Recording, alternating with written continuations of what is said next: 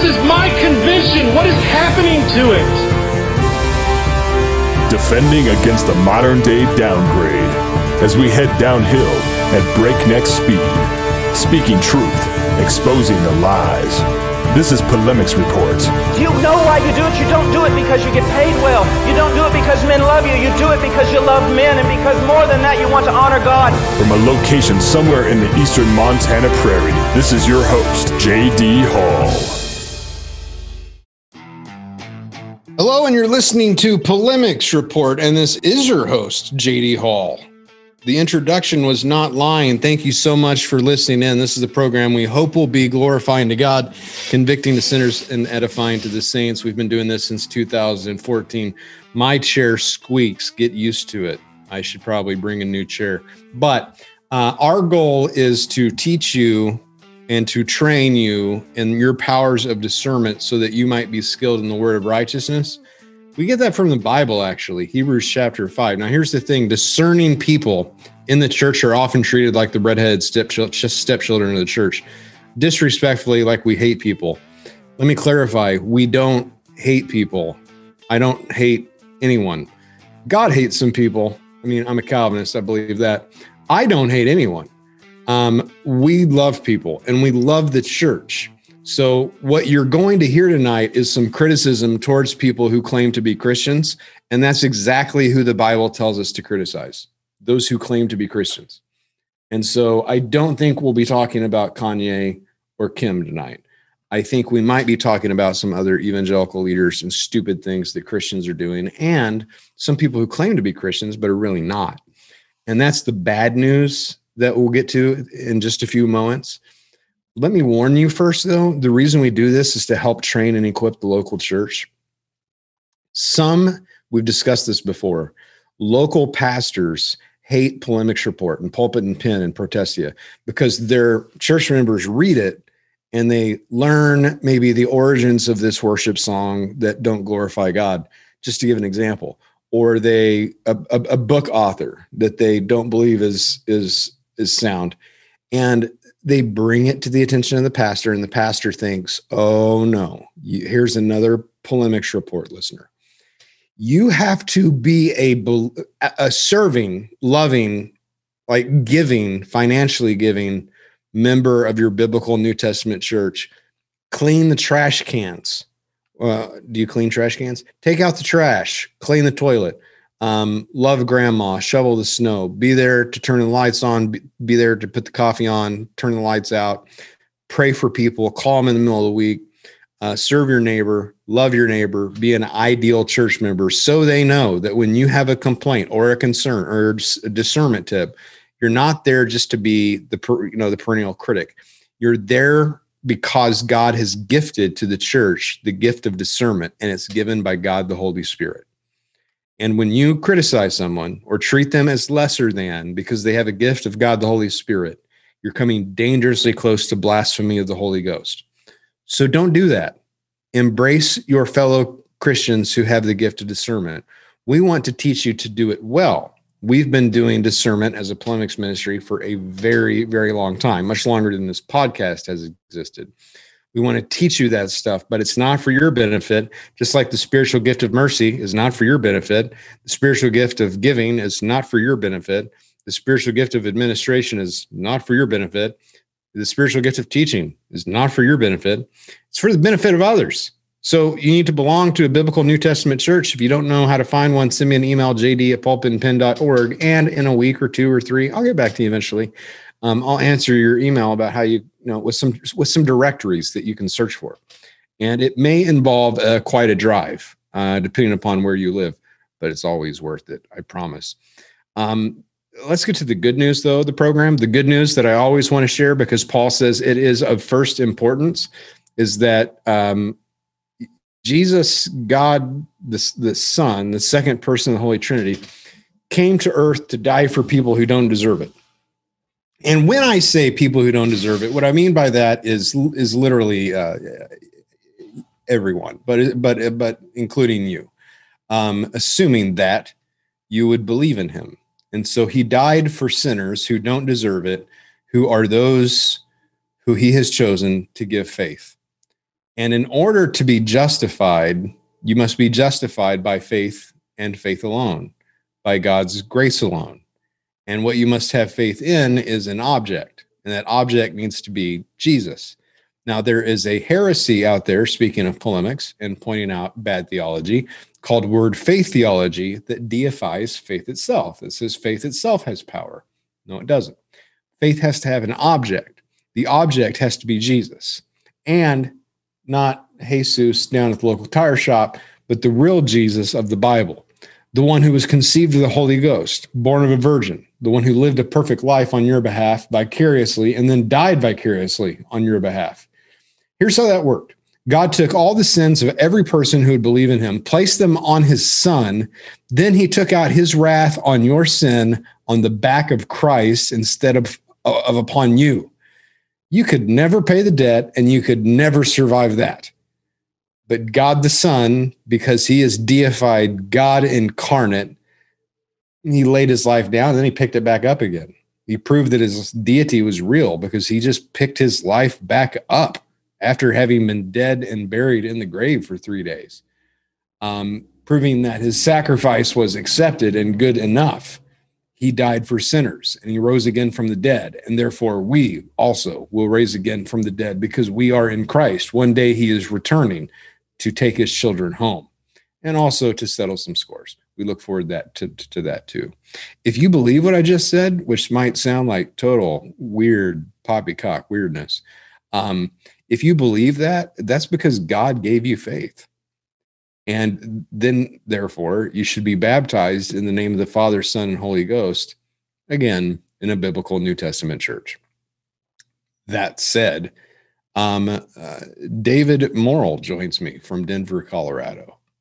And uh, we appreciate David. He does the tech end of this stuff. We appreciate David.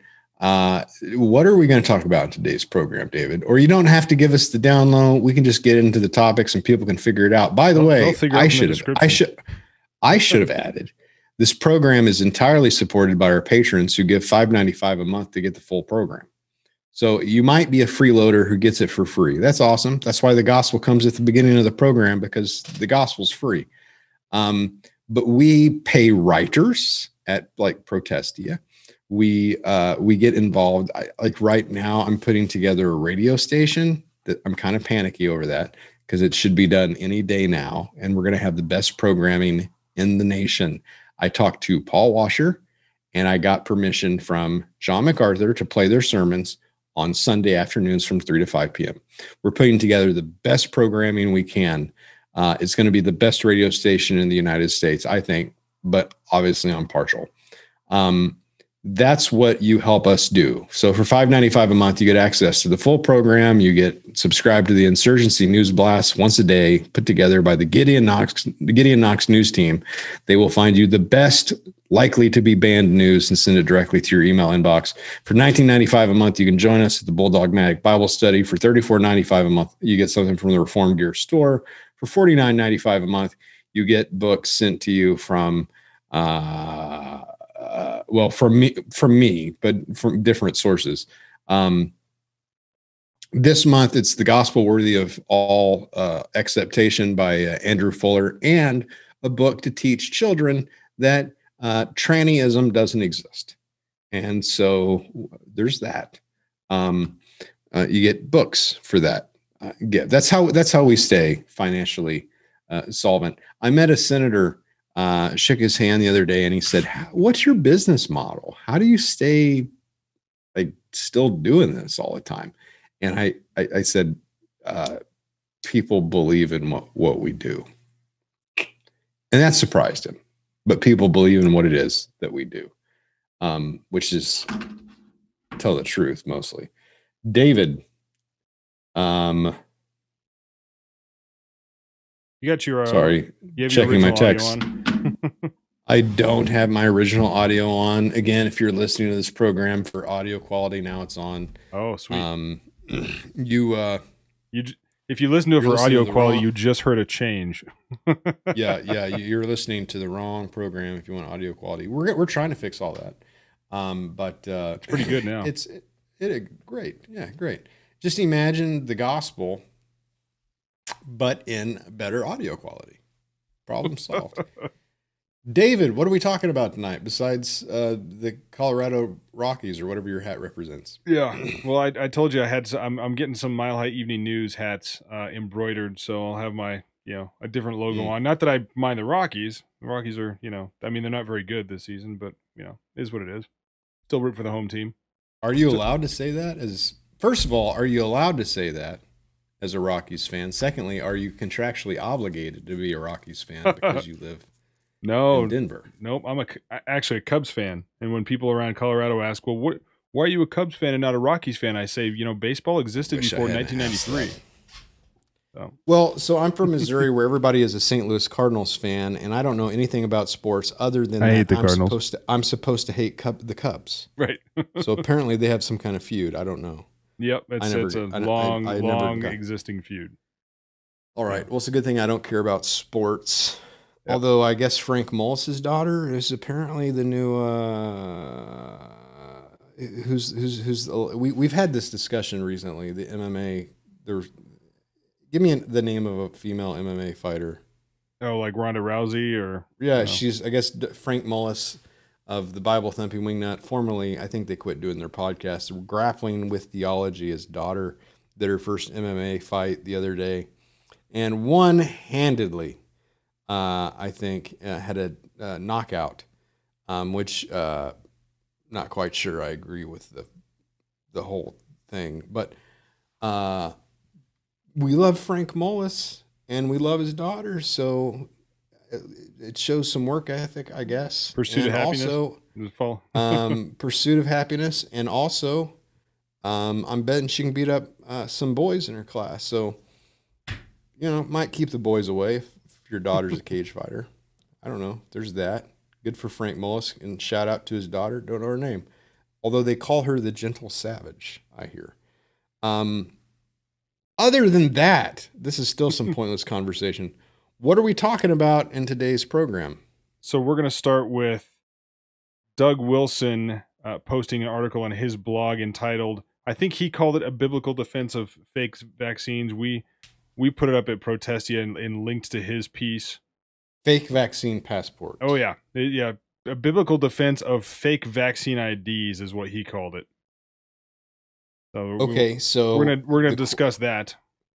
We're going we are going to discuss that because a lot of people are wondering, am is it okay that I practice deception when it comes to vaccines? And I saw it at Pulpit and Pen, and then I saw that it was aggregated from Blog and Mablog, which didn't surprise me. But we posted, I did, I personally posted fake vaccine passport templates online just in case. So, uh, we're going to go through the biblical defense for a fake vaccine passport or a fake vaccine or deception to avoid having your bodily autonomy um, um, ruined by tyrants. And um, let's go ahead and get into that. But we have other topics. We'll let, let, let, let, let the listeners know what's coming. There's that. There's what else? There, we have a few questions from our patrons. Yeah, we'll, and we'll get to that in the patron portion. I'd like to talk about this latest survey um, published by the Christian Post talking about 60% of adults under 40 saying Jesus isn't the only way to salvation, equal to Buddha and Muhammad. And these are self described born again Christians. Can we talk about Jen Denhollander um, being pimped out by her husband as a professional victim and that abusing a sexual victim for the sake of political um, scoring political points is actually abusing sex victims a second time and that she is raping the evangelical church and that she is comparable to Larry Nassar in that respect or is that going too far? No, I think I think I think that's all right. Are we talking we're talking about Rachel um, Denhollander. Did I say Jen Denhollander? Rachel right. Denhollander is the Larry Nassar. I don't know if we'll get to that part. I might leave that behind the paywall. Um, I meant to have something written up by this point, but it's been a busy week. So if you're listening to the program, um, you know that I'm involved in some lawsuits. And now one of the Native American trannies that are suing me has uh, acquired a new uh, attorney um, who happened to have been Governor Bullock's chief legal counsel and apparently is some kind of shark attorney who ran for attorney general and lost by 16 points. So now God, in his graciousness, is going to let me put his head on a mantle. So uh, he, because he's joined her lawsuit, he is now representing her. So it's J.D. Hall and my attorney Matthew Monforton against two women who served as clerks for the Ninth Circuit Court of Appeals, a transgender, quote unquote, man from the Nor- Northern Cheyenne tribe who thinks he has two spirits. He doesn't. He has one, and it's male. And uh, Raph Graybill. Raph Graybill, by the way, is in the news because he just this week filed a lawsuit, four lawsuits, in fact, against the state of Montana, fighting on behalf of Planned Parenthood. So he is suing Planned Parenthood and J.D. Hall. I could not be in better company. So uh, bring it on. That's the public posture that I'm giving the world.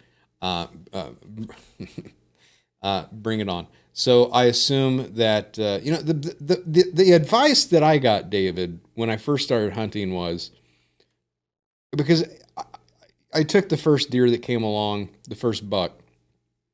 I felt bad because I'm like I could have waited for a bigger buck, and the guy I was with, his name was Neil Slosher. He's like, no, no, no, no, no, don't do that. Don't don't feel bad because you took a little spike buck. Um, it wasn't a spike buck, a fork buck. It was a fork, little two by two buck.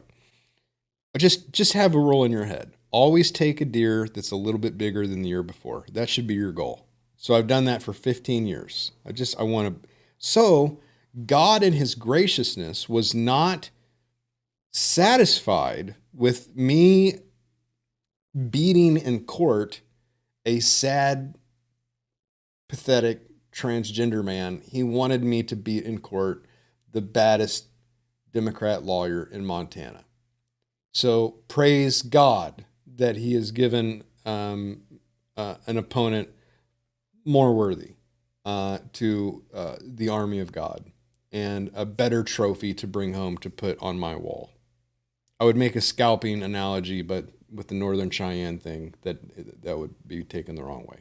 So um, there's that. Pray for that. Um, also, it's a little bit of a problem that we raised uh, ten thousand dollars uh, for that lawsuit, and I won't mention the name of the company yet, but they don't seem to want to give it to us because apparently uh, of hate speech. Because when you call a man a man, uh, it's hateful. I guess. Um, so we'll have to figure that out. If you gave money for that and find it given back to you by that company who you donated to, then you'll you'll just get an email from my secretary saying please send a check, a paper check, cash, money order. And then they'll actually have to come physically and retrieve that from my church in order to steal that from me, which they won't because uh, we'll we'll. It seems like a really just, good use for cryptocurrency it does seem like a good use for cryptocurrency, although we, that can be a different conversation. I, I hear that some crypto is not that safe and it's quite trackable and it's not as good as what some different cryptos have different uh, what's the right word functionalities they're not all equal right david mm-hmm. yeah well it's i mean it's, so it's i dabble all... i dabble in, in crypto but i'm not an expert anyways yeah. What are we talking about? so so we're going to talk about the biblical. I think I don't think we're going to fund this thing in Bitcoin. It may have to. It may have to be a paper check. So if you gave, if, if you notice that money go back into your account, it's the banks who are stopping us from defending ourselves against uh, the right to call a man a man. Go ahead, David. Well, I, I think I told you in a in a chat conversation or something that this is it's fundamental for the bank to to say we're going to stop you from transacting this this money based off of religious expression is I would argue is a, is the exact same violation of the 1964 Civil Rights Act as what Town Pump did by saying you can't express your religion and your freedom of speech within our establishment. We'll you know we'll deny you service. It's the same right. Thing. And in that case, I'm going after them, but I'm much, and they will also have some high-powered attorneys because I mean they're, I mean they're billionaires. Um, but I'm so confident that it's a civil rights violation. I'm not really worried about their attorneys. Not that I'm worried about Graybill either, for that matter. But there, these are. I wanted to retire. That was my goal by the age of 40. I don't. It seems like there's just fight upon fight that is being compiled. That was two Uh, months ago, I- wasn't it? Well, yeah. I guess, you know, some people would look at that and say, you got yourself into that. David, have you ever been in a situation where it's almost like it's not you talking, but it's, it's, I, don't- I don't, Yes. don't get me the wrong way. It's, I'm not saying it's the Holy Ghost and it's divine direct revelation, but where it is coming out of your mouth, whether you like it or not. Yep. More more than I'm comfortable with, but it's actually it's actually a blessing in the end usually. That happens to me pretty frequently. By that, I mean a couple times a year. Maybe more than that. Maybe it's once a month or something. But it's like I'm saying this, but it's not me saying this. I'm not trying to ca- I'm not trying to blame the Lord. But when I, like at Town Pump, I see the transsexual. I ask what the pin means. He says it stands for transgender pride, and I'm like, in my head, don't don't say anything. Don't say anything but at the same time my mouth comes out with well you're not a man. You're, or you're not a woman. You're a man. You should repent and trust in christ. That's that's that's i'm i don't want to blame god for picking that fight but that wasn't me I, that it really wasn't me that said that. That was christ who lives in me who said that. So um i'm sure that's not a legal defense I don't Well- want to call that direct divine revelation, but it was it was a witness that was within me. I mean, uh, let me take it back about Jesus. I don't want to say that was Jesus that said that. That was this. That was But the spirit leads us to to say things that are true for sure. You know, was it? I I think di- I think you said this. Did I, I this I, I felt as though I had no choice, and it was against my will. the the the truth is always loving and falsehood is always hateful. Wasn't it? You told me that or something like that. Oh, I've said it many times. Yes. Yeah. Truth is always loving. So Yeah. I'm gonna I'm gonna Ed Litton that from you and start using that as my own words. If Go that's right cool. ahead. Go right ahead. Oh no, no, you're not allowed to give me permission. I don't think, I don't think not Ed Litton has there. Well, we went through the article recently where the guy says there's no such thing as sermon plagiarism. So just steal whatever you want. I guess there is no eighth commandment, according to uh, what's his face. But we've been there. We've done that. So let's talk about vaccine passports. So um, the question is: Is it reasonable? Is it acceptable for a Christian to forge a document that says that they have a vaccine when in fact they do not have a vaccine? So, David, give us the debrief on what Doug Wilson thinks. And by the way, I always make a caveat with Doug Wilson because if I don't, I get hate mail. Um, Federal Vision is awful. He has not repented of that to the extent that we would like him to. We think that to some degree he's playing semantics. That's that's the that's the scenario that a lot of people assume. He's playing semantics when it comes to federal vision. Has not fully repented of that. Um, he, he he thinks that Roman Catholics are Christians, which is a problem. Although that they'll go to hell, which is a part of the federal. It's a part of his federal vision weirdism. And uh, he calls himself a theonomist, and I really wish he wouldn't use that word. Other than that, I think he's a brilliant, if not the best, Christian writer um, around, blogger at least. Period. Like he would beat Challies seven days a week. He's good. Give us the down low of the article, David.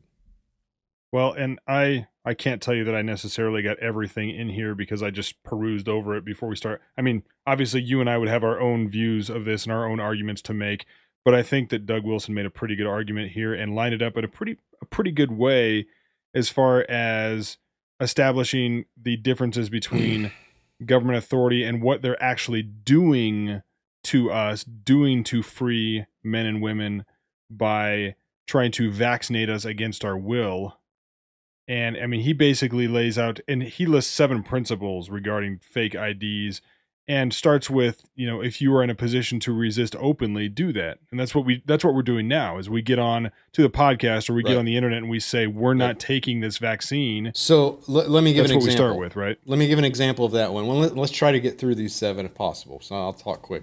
My my son uh, was uh, involved in. Uh, well, my son works at McDonald's, and they make him wear a mask. I uh, can't do anything about that, and it's not the end of the world. It's not the vaccine. I care a lot more about the vaccine than I do a mask. Mask is a significantly smaller deal to me than a vaccine. Plus, he's not 15. I'm not really. I, I don't care about his bodily autonomy as much as I care about mine. I guess I'm selfish. But they had a rule for a while that if you weren't vaccinated, you had to wear a mask. And if you were vaccinated, then you didn't have to wear a mask. But I called the legislator who wrote HB 702, who pointed out that that's discrimination, which has been made illegal in Montana. So I went to the manager of my son's boss and very politely explained that the policy you had in place two weeks ago, or whenever it was, was in violation of Montana law, and that they cannot discriminate against their employees for not having a vaccine. We're the only state in the union where that's the case. But uh, I could resist openly there with a conversation over, about the law, uh, and I could resist uh, as a free man. And thankfully, the law was on my side. There are some places where the law is not on your side, but you're not going to get locked up. Um, so resist openly where you can resist openly. Fair enough. You don't don't go straight to deceit right as a general rule. Okay. Yeah What's I mean, number two? and, and especially around here when we start at a basis of being free men and women we use those rights first we use those speech rights first we we we protest we write to the legislator we we do everything we can do Right. before we start Right. lying Right. We would well, it, it's like the, the the Bill of Rights. We would much rather use the freedom to petition our government for grievances before we take our AR-15s down to the courthouse and take it over. All right. So the Whitefish uh, Credit Union is a story that we're working on at the Montana Daily Gazette. In our opinion, they've stolen a bunch of people's property, including a giant mountain in Kalispell. The sheriff called uh, the co-host, uh, or rather the host of Montana Gazette Radio today over in Kalispell, because I've got an office on that side of the state. And he called me and he said, Jim, please tell me that it's not true that you're going to take the mountain by force. And Jim's response, I'm paraphrasing, was that's not necessarily accurate. That's only plan B. The plan A is that you first take it by force. Because we were ready to call in the Montana militia and we will take the mountain by force if we have to. It was stolen property. It was our property, not not mine, but it's this man's property. If he wants it back, he'll take it back. Um, but Jim's point to the sheriff was it's actually your job to investigate crimes like theft. So they made a deal. And the deal was the sheriff's department would investigate the bank for theft, and then we'll go to the Second Amendment if we have to. And that was the deal that they struck. That's how the law ought to work. So we handle the First Amendment. If that fails, we've got the fallback, which is the second.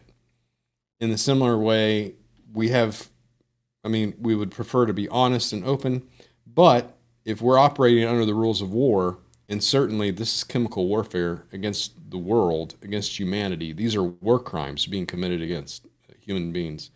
Uh, if you demand that I be a part of your Tuskegee experiment, then we will go to deceit in the same type of ways that we've seen deceit uh, in the Holy Scripture. and, and this is this is directly related to conversations general conversations within the larger church world about romans 13 and the idea of submitting to the government. Uh, wilson arg- i think doug doug wilson argues here and i think we would we would both argue that in this kind of a situation the government has broken its basically covenant relate the civil magistrate has broken its covenant relationship with us and is is now acting evil and is take is is moving that direction that's that's If- we don't submit to them and just go along with it. If you believe in the social compact theory of government and that the founding of the American government was just, then you must believe that resisting COVID passports is just because the American government has ceded its right. It has walked away from the contract, the compact it made with the American people in the U.S. Constitution. And as it says in the Declaration of Independence, there, uh, in the course of human events, there comes a time for the ties. How does it phrase it? Uh, the t- well, Mojo Nixon, the great philosopher, would say there comes a time for the ties to get busted up. There comes a time in the course of human events for the ties that bind to be broken. Sorry, that's the best I can come up with at 8:58 at night. It's been a long day. Um, they've they they have broken their their compact with us, which by the way comes from John Locke, who was a reformed theologian. But if you're one of those guys like Todd Friel, who says that you should submit to the government. That's really what we should be talking about tonight, David. Well, we're going right into Maybe, it right now. okay. We should be talking about Todd Friel, who said that we should submit to the government even if the government wants us to wear pinwheels on our head. If your idea of government is just submit to anyone that says that they have charge over you, then um, you have no there obviously you're pro slavery. Okay. You're a pro slavery guy. But for those of us who are not born slaves, Todd Friel is a friend of mine. I texted him the other day. I said, Give me five minutes of your time to save you a big headache. And, and he eventually texted me back and said something like, Hey, I love you, JD. I know you're just trying to help. But he wouldn't give me five minutes of his time. So he's going to get a bit of a headache. He apparently was born a slave, where anyone, including a drunk man, claiming to be the government could say, do this, and he would do it. Simon says, wear a pinwheel, and he'd wear a pinwheel. So you actually miscited the scripture, David. You said, submit to the government, Romans 13. It says, submit to the governing authorities. Mm-hmm. And that word authorities means exousia. Exousia means jurisdiction. And we should submit yes. to the rightful jurisdiction. There is no jurisdiction that the government has over my body or over my person or over my home. All right? They don't and, have that. And beyond That's that, God's for, jur- it's be, God's jurisdiction over my body, and it's and I am I am its steward, and it's my jurisdiction over the home. And and beyond that, the citizenry has jurisdiction over the operation of the government as well. We're we're a nation in America at least. I mean, I could I we could may not be able to make this argument about, about every country on the planet, but in America, we're we we're we're ruled by laws, laws that we have to sign off on. The, the citizen is above any but any government official as far as this goes. I, all of us being I've under been, the law. I've been flying a lot lately, and this I won't blame on God. This is all me and I want to say it. It's not like I'm forced to. But when you hear them in the airport say, according to federal law, you have to wear a mask, I shout out, That's a lie! That's not a law! That's not a law! All right? Laws are passed by legislators, laws are not decreed. So I don't I, I shouted out not to be a jerk, but to point out, I guess I don't I don't I, to point out laws are not decrees. Laws go, like you know the automobile, you know the like the the Schoolhouse Rock uh, theme song. Mm-hmm. Uh, laws are passed through legislatures, signed by legislators, then signed by gov- by governors or by presidents, and then not overruled or vetoed by Congress or the state house. That's how it works. So when an unelected health department decrees something and they're not held accountable by the people, it has exactly zero authority over me. Zero. Either, and, and by the way, some laws are issued and decreed by people who were voted for, but it doesn't mean they have the jurisdiction to make the ruling.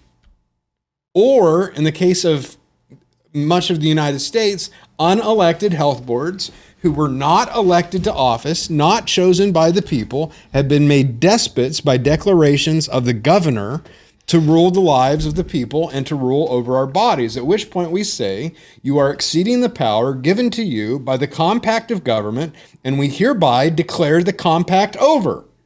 Done. And now we're operating under the auspices of war, which in the Bible ex- excuses deceit, a righteous deceit.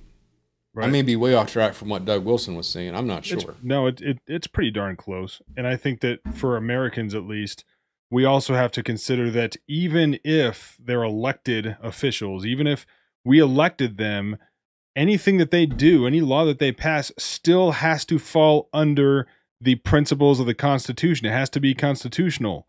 So when you say I got to put a piece of fabric over my face or I have to, you know, distance from people, not go to church, all these kind of things, very clearly that's unconstitutional. So in our system, you're not allowed to pass laws or write write things into law that go counter to the supreme law of the land, which is the Constitution. You know, and and fortunately, we've been I, gifted I, I with this document. You know, we've been gifted with a document that is very if you if you understand it properly, is very biblical in nature. I'm ashamed that I had to look it up, but it's the unit when in the course of human events it becomes necessary. I had to memorize this to pass eighth grade, and I've forgotten it. When in the course of human events it becomes necessary for one people to dissolve the political bands which have connected them with another, and to assume among the powers of the earth the separate and equal station to which the laws of nature and nature's God entitle them, a decent and respect to the opinions of mankind requires that they should declare the cause which compels them to the separation. In this case, the cause which requires us to the separation is you have no legal authority over or jurisdiction over my body to tell me what to wear, or to tell me how to cover my face, or to tell me how to best medically protect myself. You have none. None. And what we're talking about, and in terms of Todd Friel, he did a segment where he said you should wear pinwheels on your head or that he would if the government said to wear pinwheels because that's the government the government says to.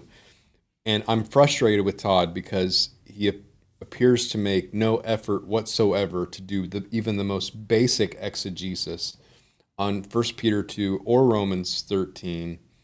He takes a position that is against John MacArthur. And I consider it strange that Phil Johnson serves on Todd's board and would let him get away with that. And Rushdoony said, by nature, some people are slaves. That appears to be Todd Friel. But the guy who wrote or produced hermeneutics, uh, or Herman Who, the hermeneutics study, you know, study tool, for him to be incapable of even the basic exegesis on Romans 13 is frustrating. Yeah. Well, and he said before that segment, I think he said something, and I'm trying to remember, I think he said something along the lines of, I may get this totally wrong and totally screw this up, and then he did. like he set himself you know, up, I guess. I don't know. I have an email. You keep talking. I have an email from uh, John Harris about this. John Harris did a video. Let me see what John said. There have been several because it's been several days uh, since this came since Todd started talking about this, and several um, pretty popular uh, I think AD Robles has talked about it now. I'm sure John has talked about it a little bit. We're, I guess, we're a little bit late to the party, perhaps, but but the, the, the important thing to understand, I, I would argue, the important thing to understand is that if you if you look at what the Bible says about what and, and what the Bible teaches about uh, individual, you know, we call it Baptist, we call it soul competency, right? The idea that every individual is is capable and responsible directly to Christ made in the image of God, that those core ideas I guess form the juris you know the the jurisprudence of the United States of America. It's what our founding documents are kind of based around. We can uh, we can guess, actually go to those with rely you know reliably. John Harris did a video that I think I asked him about, and he's I haven't seen it yet. I, I don't think he named Friel, and I'm not I'm not at privy to share communications, but Friel did reach out to Harris and offer to talk about it. Hopefully, Harris can talk some sense into Todd. That would be great. This um, isn't I mean, the first. This isn't the first time that, I, that Todd's been kind of on this topic and on kind of in the middle of it and, and interpreting it wrongly. Well, I texted. Time. I texted Todd, like I said, and said, "Give me five minutes and let me uh, try to avoid you a headache here. I'm trying to help you."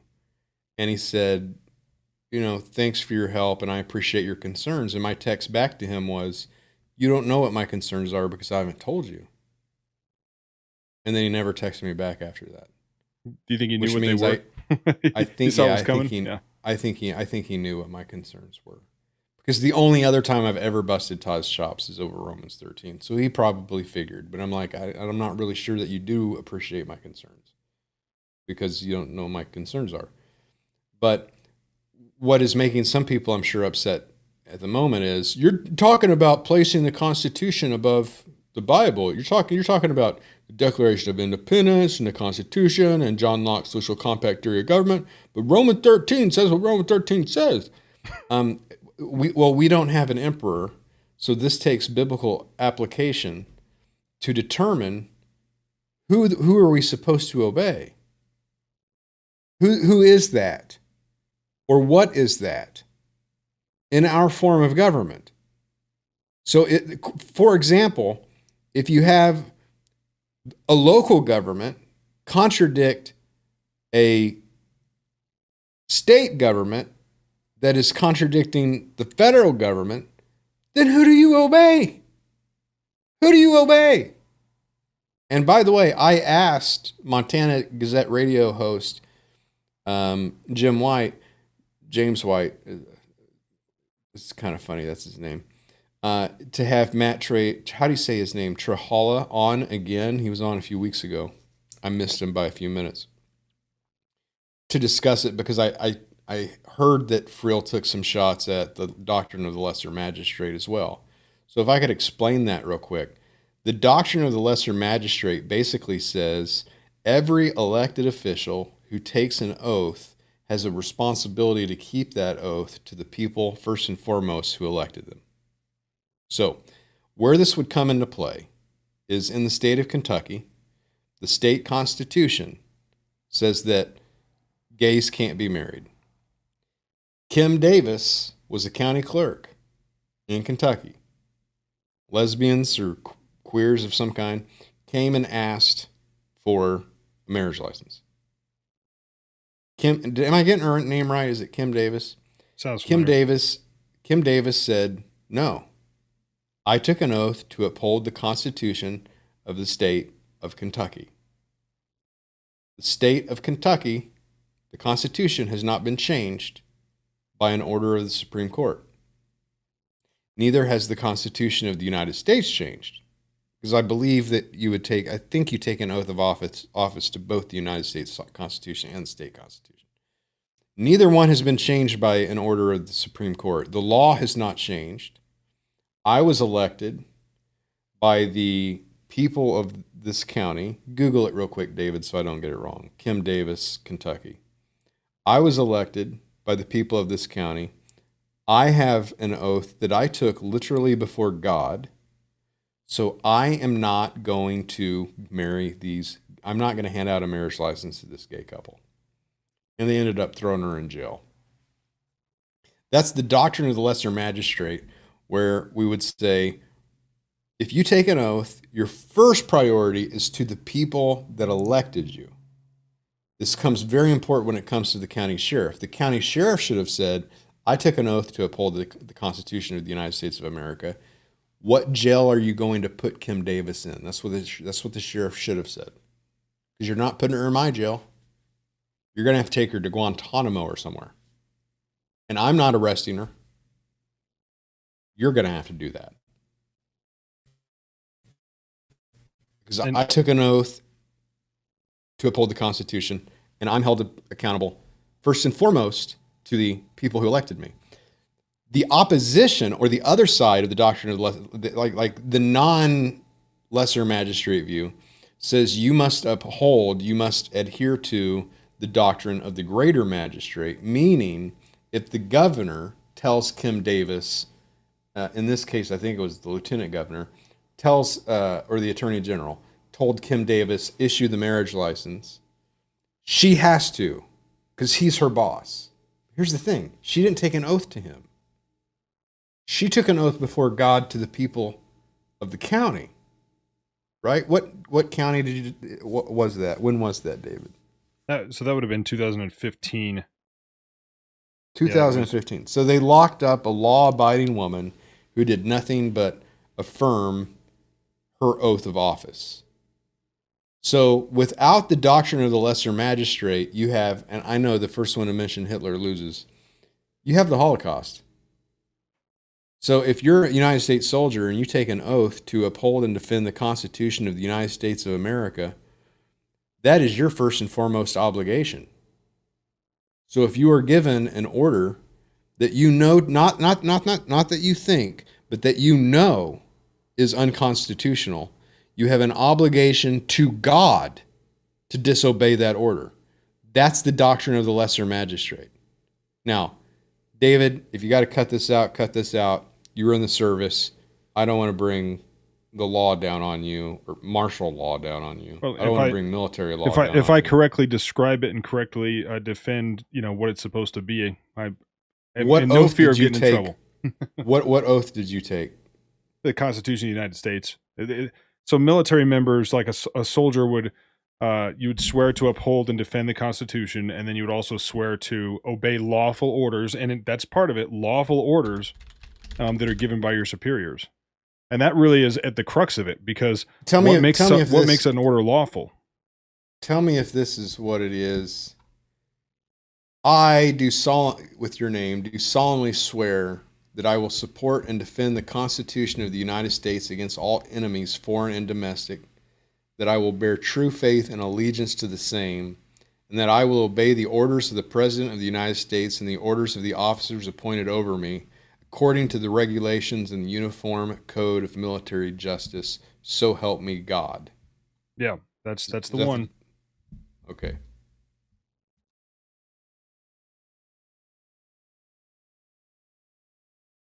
If there was someone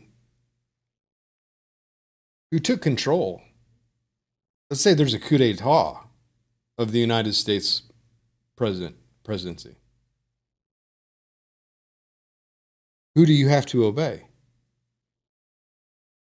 That would create a dilemma that you have to figure out. It's not as easy as putting pinwheels on your head. Yep.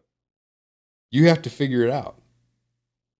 Now, let me, it's going to get tricky here for a second.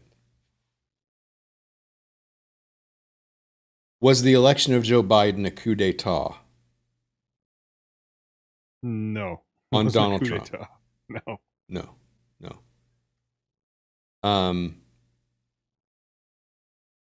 if it were a coup d'etat, like a military coup, let's say instead of enforcing DC with the National Guard and fences, they actually went in, removed the president without an election. Who would you defend, David? The man who said he was president or the man who was? It's the man who was. It's the man who was actually brought into that office via the law and by the procedures that are that are written in the Constitution but, and underneath but it. what? But what if the people above you, who now control the Pentagon, tell you that you have to defend the usurper? No, you you defend the Constitution, which could, you know, like you said, could potentially put you in a very, very uh, dangerous bind. You know, people have had this problem That's, historically over well, you know, thousands and thousands of years, right? so if someone says, David, you're in the National Guard, you need to go enforce. Uh, here's my thought: if they start passing gun control laws that involve um, confiscation, they're going to have to use the National Guard because the county sheriffs will not cooperate with that. They're they're not going to put their men in jeopardy. They'll bring in the guard. But I don't think they're going to bring in the local guard because we know where they're li- where they live. And I'll hang their dog from a tree. So we I think I think we, we would end up with like the Colorado Guard in Montana and the Montana Guard in North Carolina. I think that's probably how it would how it would work. Or they might activate the military to do such a thing. I don't know. I'm just speaking hypothetically. But in that situation, someone who would truly be an oath keeper would say, unless, unless the Constitution has been changed, I'm not following this order. Right? I'm not right. following it. Sorry. I'm not doing it. Without some that's that is the doctrine of the lesser magistrate right there. I made an order and a, an oath. I swore by God's name to uphold it. I don't care who is over me. I'm not following an order if it violates my oath. That is the doctrine of the lesser magistrate. Period. That in, in its simplest form. So for Todd to be against the doctrine of the lesser magistrate is to stand with the Nazis who said, I was just following orders. Just following orders is not an excuse for violating the Constitution of the United States. And, and beyond that, it's not an, it's not an excuse.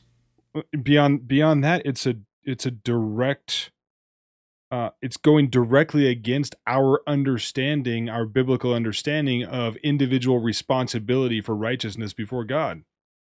We don't we don't get to use "He told Right, me to do to it" the- as, as back to the for sin, theological right? yeah back back to the theological argument um, um, of, of whose authority is is the body it's god's authority with man as steward if the government told you to murder a child would you murder a child?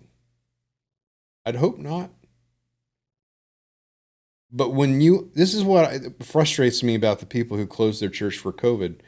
When you cede the First Amendment right, which says the government shall make no law with respect to the free exercise of religion, and you say, well, except in a pandemic, you have opened Pandora's box and given them freedom to do it whenever they want.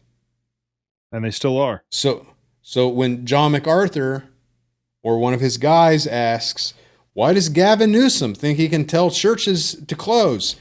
The answer is because you let them. That's why. And I always argue you let them. And I always argue that this actually may create in some situations, and I think it, it probably applies with certainly forced vaccination, but this creates a situation where I would argue that we have a moral obligation to say no, even if we think that we want to take the shot, we have a moral obligation to say no because it's being done under false authority, usurped authority. They've stolen this this right for people to make this decision for themselves. I would argue we have an obligation to say no just on that principle because like you said, once you open that door, now now once you open the door if they can make us do stuff for safety reasons, there there's no end to that. You can't logically put It's put a stop it's like it. when they say that they're not persecuting Christians because it's for health reasons. Do you Right. think there's ever been a time of serious persecution that they didn't say that it was for the public good? Wake up. Read a book about the Holocaust. The final solution was for the public good, public safety, the public welfare, the public well being. That's why this is a battle between collectivism and individualism. That's what it's about. Let's get to the next point from Doug. So his his next point was uh, if you he says if you are not in a position to resist openly, feel free before God to resist in this clandestine way. This will get you through your particular moment. It also has the effect of helping to make all the different kinds of I like this all the different kinds of vaccine IDs into a joke. so basically, a ton of fake ones on the market would create confusion and it, and it wouldn't work for anybody, which is fine with me. Fine with me. Yeah. Let's go to the next one. And third, le- the legitimacy of using such IDs is not limited to gospel issues only. Don't assume that you could um, only use such an ID if you were engaged in smuggling Bibles into Connecticut or New York. These are liberty issues. Any kind of lawful liberty is never a trifle. So basically, what he's saying here is kind of what I was just saying that the principle is the supreme. It's not. It's not because it's vaccines. It's not because it's masks or distancing or whatever. It's the principle of liberty that that matters here. That's why this. It could be it, you know- it could be the the principle of the pinwheel as well. Yeah. If they can make you do that, what else can they make you do? Mm-hmm. And I, You're I kind of like that to- Todd. I kind of like that Todd used a pinwheel example because you think about somebody putting pinwheels on their ears. What does it do? It humiliates them. It makes them look ridiculous. It depersons them. It it's it tells that person you're a joke, and Right. we're gonna throw it right in your face that you, we have taken away your liberty. Right. So fourth Which- point. Which, real quick, when we talk about taking away our liberty, I mean, there are some people who say Christians don't have rights. That person's so stupid. Just don't even talk to that individual. Like their stupidity is going to rub off on you. The Ten Commandments, especially the second table, presupposes your rights. Okay, you got a right to you got a right to life. Six, the sixth commandment. You have a right to your wife. Seventh commandment. You have a right to your stuff. The eighth commandment. You have a right to your reputation. The ninth commandment. And you have a you have a right to not have people, you know, plot and scheme to get your stuff, which is the tenth commandment. So the concept of rights comes from the ten the Ten Commandments, but the- the the frustrating part of the whole ordeal is if you give a mile, or rather, if you give an inch, they'll take a mile. We are training the government to persecute and to kill us. You get no brownie points for submitting to a fake tyrant or a fake potentate. None. Yeah, that's it's interesting that you said that. I heard Candace Owens say that a couple days ago. She said basically that we that the people of the United States especially are training the training the government to oppress us. And this this is something that I don't think Christians get very well. Professing Christians don't realize when they cite scripture that says that they need to be selfless and, and giving and turn the other cheek in these things. Like you have the right in some cases to to to you know certainly give away something that's rightfully yours generously. But when you do it in this case when you actually when you give away your rights and your authority over yourself when you give away authority over your body to the government you are also giving away other people's authority. You're giving away uh, your your fellow citizens rights if you don't stand up for your own you know The- you don't have the right to the give re- away my rights you don't have the right to steal my rights and then give them away to somebody else which is what you do when you give up In the state own. of Kentucky, where they went so hard after churches, I have to blame the churches that closed down as much as I blame Governor Beshear for that. You told him that was acceptable by, by bowing that knee to Baal. Mhm. You're the one that trained him that it was acceptable. What's the next one from Doug? So yeah, he's so he says, um, fourth, the ethics of the thing are clear enough, meaning that you can be right with God and use a fake vaccine ID, but that doesn't mean you should risk going to a to federal penitentiary penitentiary in order to take your family to Disneyland. He's basically saying being Right, wise about right. it. Use it use it only when you absolutely have to, not as Right. a license to do other stuff, whatever you want. There should be a lot of things that you don't do with the fake vaccine passport. Right. Which of course Uh, makes it so you, you makes a ton should reserve sense. that to keep your gainful employment and so forth, not you know to go do silly things like go to the movies or something. Right. So then Next. fifth fifth he says if you're a Christian elder or pastor and you can't see your way clear to do this kind of thing yourself, at least have the decency not to rat out Christians who do have that liberty in their conscience. Don't even think about requiring vaccine IDs in order to come to church. Do not dare to discipline one of your members who uses a fake ID in order to retain his ability to feed his family. Amen. Yeah. And you'd think that Mm. that would be clear, but we've seen what I mean. Churches come as soon as as soon as the FDA approves. I have read it out. vaccine. Two church members. I've read it out. Two church members in 22 years. Both for child molestation. A little different. That, that- yeah, no, that's different. Like I'm pretty. I I could not imagine there being pastors in the world who would rat someone out for using a fake vaccine card. But I am sure that there are. Well, they would because they're requiring vaccines to come to church. Some of these church, I'm not putting them in scare quotes. These churches requiring vaccines and uh, presumably proving That was an that article at. Protestia, wasn't wasn't Yeah. it? That was an article. and and, and that was just the start of the the start of the snowball rolling down the hill. There's going to be ton. There's going to be ton of churches that expose themselves. Can we not churches. find that video from Friel? Can we not find that and just go through that?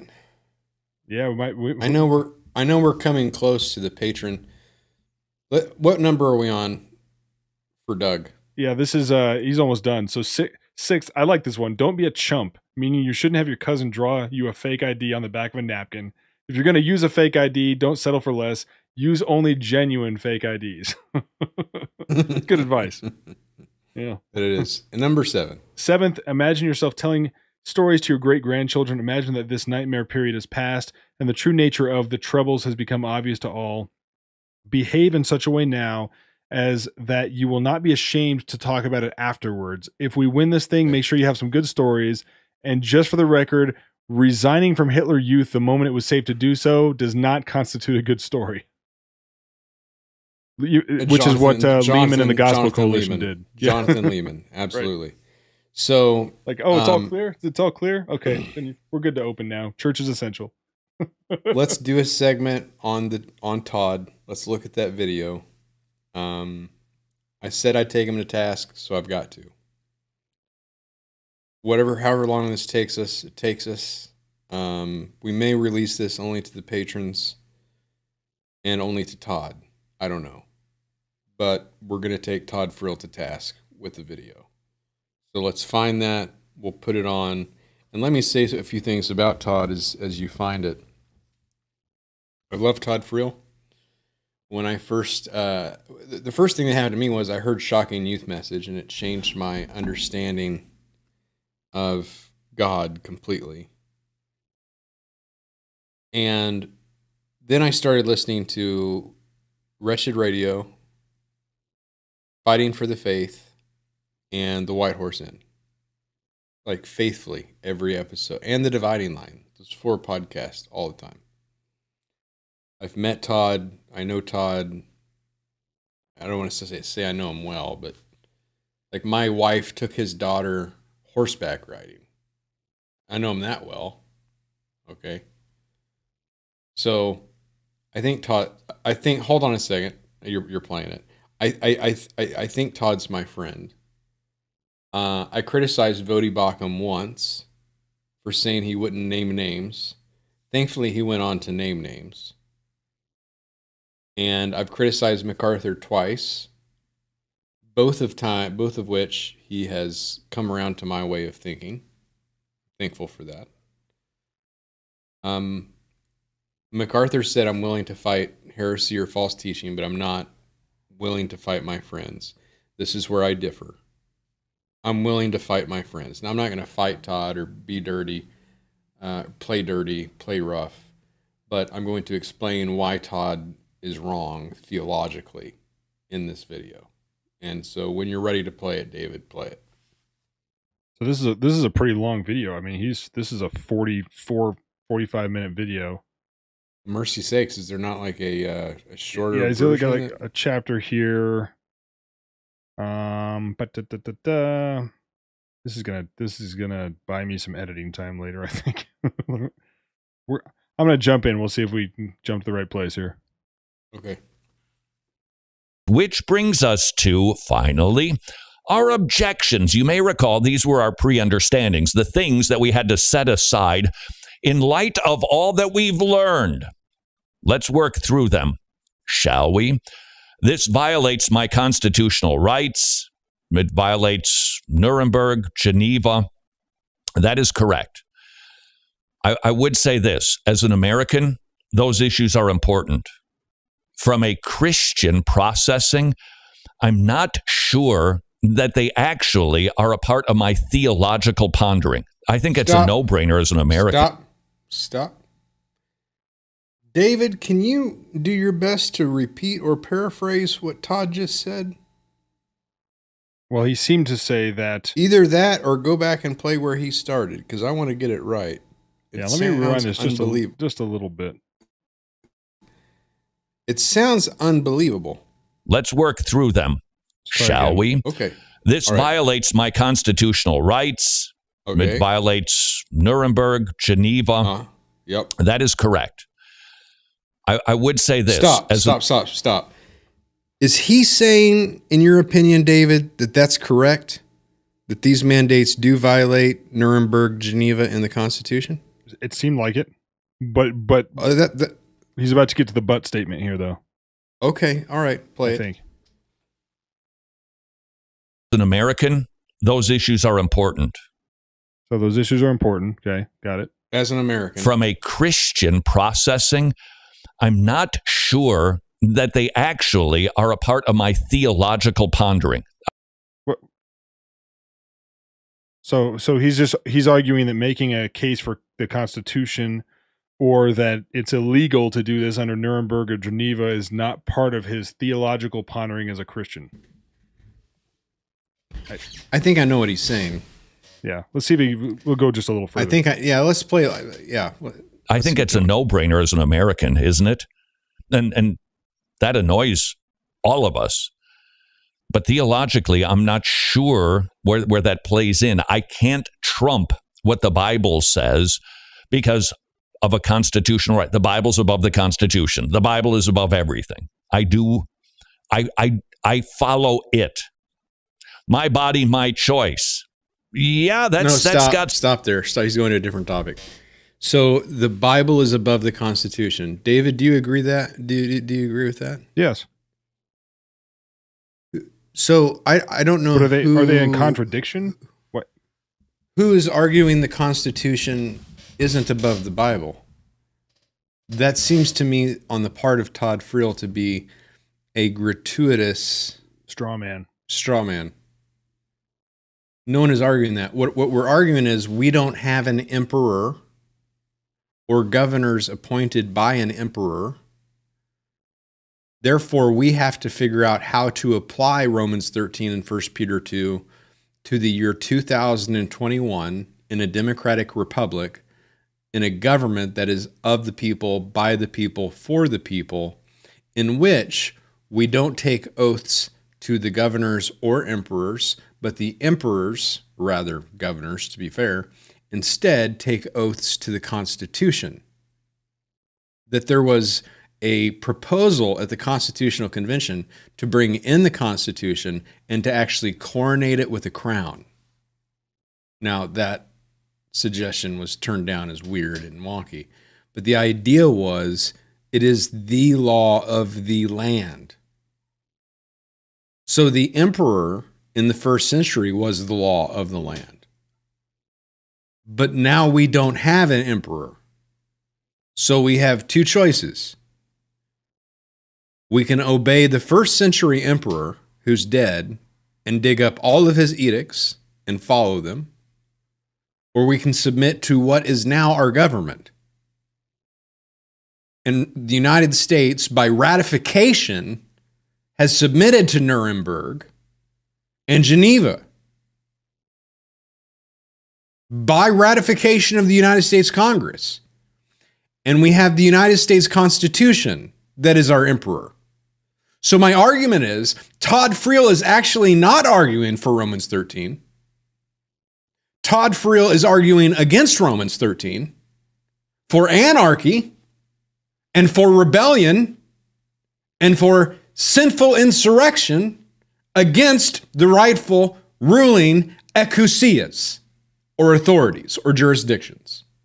That what Todd Friel is doing, piously, is arguing for sin rather than righteousness out of a stubborn refusal to apply the scripture and to divide God's word clearly. And and go one layer further and tell me why he's doing this. I, I Here- Here's what I I, and, and- Todd's heart and mind. I don't and know. Do you have a guess? Exactly. I don't want to Is it better judge his than mine? heart, but I I've certain with with a lot of Christian. Actually, hold on a second. I do have a guess. Let me. I, I don't mean to interrupt you, David. Let me tell you. Let's. I, I'm curious to see if it's the same as yours. Todd Friel has consistently been wrong on every fact of COVID since the beginning. Todd Friel has consistently said from the beginning the same thing that Fauci has said that we have from the beginning been found out over and over and over and over and over again is a lie. That what he has said has been statistical truth, has been not statistically accurate. And it is, it comes across like the, because when you first ask, I don't know, but if I think about it for a second, it seems to me to be mo- the most likely reason a sinful stubbornness to admit that he was in error all along. What were you going to say? I think that's part of it. I think that, and again, I, I, I don't think that we need to get in the category or in, into the into the business of trying to judge people's hearts particularly. But what I what I see with a lot of Christians, and especially Christians with public platforms who are in leadership positions who are looked up to, who are considered authorities on things doctrinally, and Todd is certainly in that group. I mean, like you said, a lot of us have have very um, we've benefited from his work. He's been a blessing to us. But here's the thing: is when you have a public platform, when you're out there, when people know who you are, it takes that much more courage to look at somebody who's usurping authority. They don't have a government official uh, and uh, maybe another evangelical leader. So it takes a lot of courage to step up to them and say no you don't have that right. People in public positions take they it, it's a bigger price for them a bigger cost to stand up for the truth. And so it takes more courage and sometimes that that courage is really hard to come by so that they they waffle and they, they try to find a middle ground and a ground where they can sort of please the the more conservative among us but also uh, still please the the magistrate at the same is there a way that i can get down the middle of this make everybody happy if you That's and we'll think. end we'll end with this in the patron portion or or the freeloader por- portion of the podcast. if you refuse to do the work of exegesis on what the word exousia means in Romans 13, you will not only end up enslaving yourself but enslaving others. Do the hard work of exposition and know your scripture because one simple word can make a can make the difference between freedom and slavery. Todd Friel needs to do that hard work. Thank you for listening. If you are not a patron, we'll talk to you next time, Lord willing, and the creek don't rise. If you are a patron, we're going to keep talking right after the music is over, or this small non-commercial break.